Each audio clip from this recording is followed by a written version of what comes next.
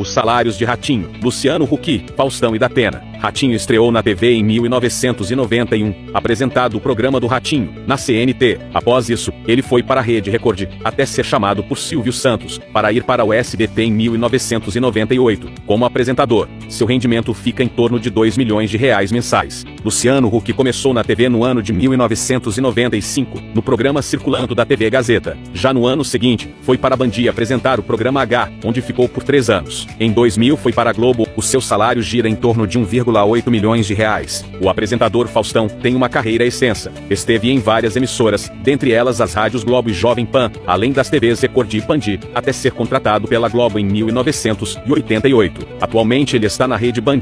O apresentador ganha um salário de cerca de um milhão de reais. O veterano da Atena apresenta o tradicional Brasil Urgente, programa policial que ganhou muito sucesso com o passar dos anos. Da Atena tem um salário de 600 mil reais.